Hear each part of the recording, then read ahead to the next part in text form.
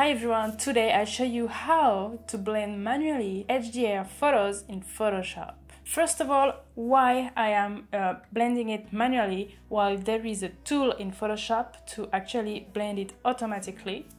Well, the reason is simple. I hate the result of the automatic blending. I show you how step by step to do the manual blending. Let's go. So first of all, what HDR actually means. This means high dynamic range. And in simple words, when your camera is not able to have enough uh, dynamic range to expose for both shadows and highlight, you take multiple images, exposed specifically for shadows and specifically for highlight and you then merge them together either by using dedicated software or plugins or manually. Today I will show you how to do that manually. So here I have an image shot with 5 brackets, so 5 different exposures. One is exposed so most of the image looks good, 2 are exposed to get the most out of the highlights and 2 are exposed to get the most out of the shadows. So I am using Adobe Bridge. I am going to select my five image and then double click on them. It's going to open them in camera raw. So here I have all my image. You can eventually uh, do uh, some changes, but I don't uh, recommend it at this stage. And then I'm going to open uh, those five images as an object. It's going to open five uh, different files and then we are going to merge them uh, manually because I still think it's faster. So it's easy, you just do Command C, Command V and you will have all your uh, layers in one file. Then you can close uh, the other files if you want to. And then what we want is to is to organize our layers. So I want I want the brightest images on top of my image and the darkest one at the bottom. And I want the image that is uh, normally exposed to be at the bottom. I'm going to show why uh, right now. So I am using a action that you can download uh, if you want. So first of all, I'm going to rename my layers. I'm going to name them plus plus plus. It's uh, you're gonna see the logic in a second um, because this one is the brightest uh, image is I call it plus plus this one is less bright than before, but still bright, so I'll call it plus. This one is the darkest uh, image, so minus minus, and this one a bit less darkest, so minus. And I will keep this one as the original name, or you can call it whatever you want. Then I click on my first layer here, and I'm going to play my action.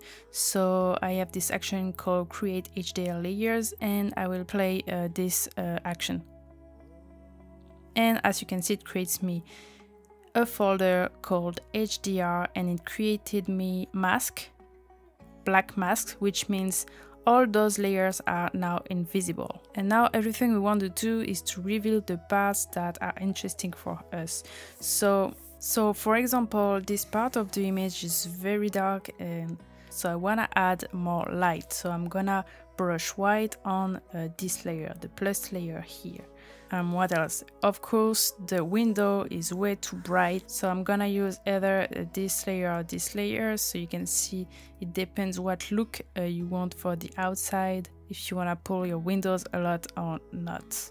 Same, uh, this part is quite dark, so we can add a bit more light using uh, one of those layers so it's what we're gonna do uh, now. So here on this image there are a few things that we have to fix. So in this image there are a few things that we're gonna have to fix in the colors but also in the geometry. We might want to fix the bedsheets that are not looking uh, really straight uh, with probably frequency separation. But all those things will be done after the HDR. And by the way, let me know in the comments if you are interested to know um, the next step to do to edit after the HDR because it's not the topic of this video. So let's start with the HDR editing. So I'm gonna take a brush, D to reset my active color, so I want black and white, and X to have my active color as white. Then I'm gonna click on B, I want a flow of 100%, but I want an opacity of 10%. and then I'm going to uh, work on the shadows first. So I'm gonna go on uh, this uh, plus layers. So I'm gonna try to work uh, mostly on the plus and on the minus layers. And then for uh, extreme needs I will be using the plus plus and the minus minus. But I always start with uh, the plus and the minus uh, layer I don't want a hardness of 100% so I'm gonna use something like 4 uh, 40% and I start brushing. So I start brushing until I am happy with the result. So if you are new to it, you might uh, not be able to see what you are brushing. So don't hesitate to uh, toggle on and off the layer so you can see the difference. And we can see here that it's already making a big difference. So I'm brushing on parts where uh, the shadows are very strong. But then it depends of your test as well and how much you want how much you want the shadow to be strong or not.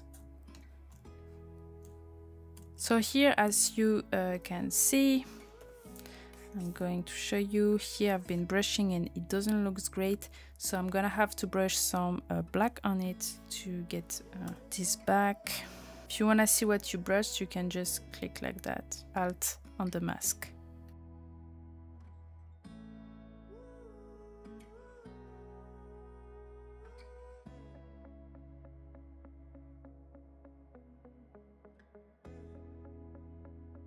So I like to have very airy style. So I tend to make everything uh, very bright and then uh, work on the contrast later but it really depends of your style. Okay, now I'm gonna work on the highlights, so I'm gonna go on the minus layer and work on the window. I'm gonna do it uh, manually at first, but if I see that it's tricky, I'm gonna make a selection.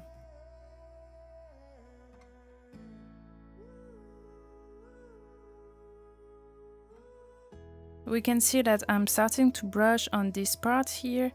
Uh, we can see some brush things and I don't want to do that so I'm going to make a selection here so I don't touch this um, darker part here.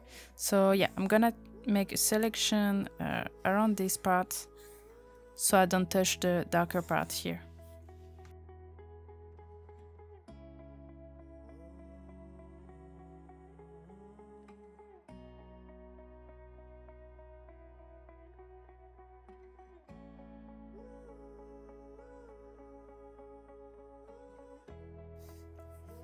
and I continue brushing in uh, in white to reveal some shadows on the okay, I think that won't be enough uh, to use uh, the minus layer. So I'm going to use the minus minus because I want to be able to see a bit more um, outside and through the window and the curtains here. So I'm still brushing with 10% opacity.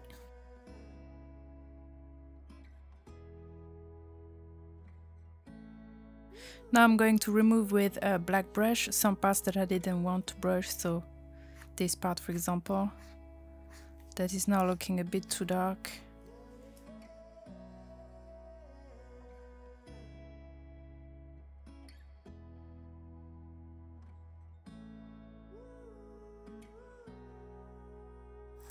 Um, trying to get the highlight back uh, on the sofa here and on the table and that works pretty well. Okay, I'm gonna work on the mirror here.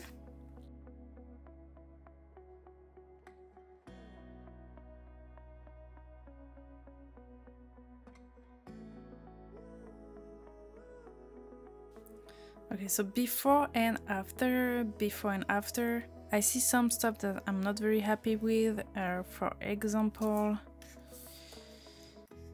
this shadow here that seems that I created it myself, which is really not a good thing. So let's see what I did. Yeah, here. So I'm going to remove it.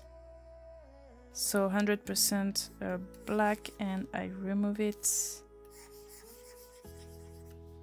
Let's see, before and after. I'm going to remove this layer. Okay, that looks better. I'm going to work on this light here. So this is my image uh, before HDR and after HDR. Before and after. Before and after. So I took the time to make the rest of the adjustments. So I work on the geometry, the colors a bit and the color uh, correction. So here is the initial image before HDR and any adjustment and here is the final image. Let me know in the comments if you want to learn the rest of the adjustment to get to the final image. Don't forget that you can download HDR action that I used at the beginning of the tutorial. If you like this video, please push the like button and don't forget to subscribe to don't miss any videos. See you in the next one.